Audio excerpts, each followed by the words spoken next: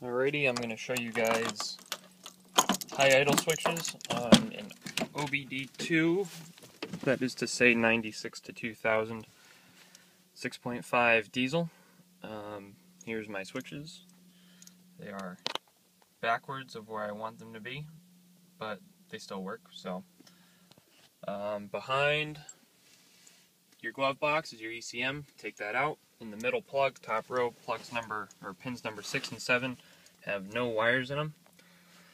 And what you do is you go to a GM dealer and they give you the little pins that go in the ECM and you crimp on your wires and you run your wires to the switches and then you ground your switches.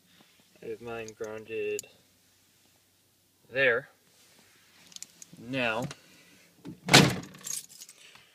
when you start it, now, like I said, these are both backwards, so eventually the way it's going to work is the left-hand switch is going to be the lower of the two.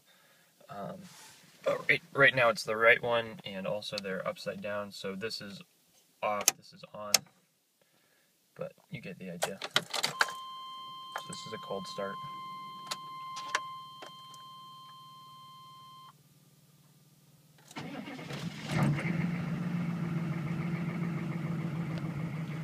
Okay, now the first one is uh, uh, 1070.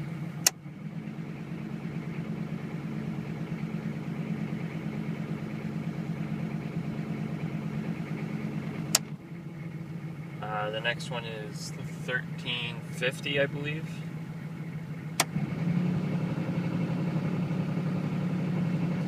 And then if you hit them both, you get 1600.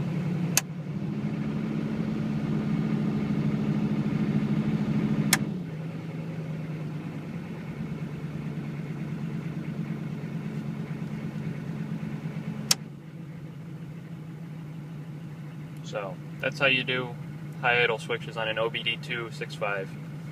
Uh, you can also do it for OBD1. I'm sure it's just as easy, but I haven't done that for mine because I don't have an OBD1 6.5. So there you go. Uh, enjoy. Thanks for watching.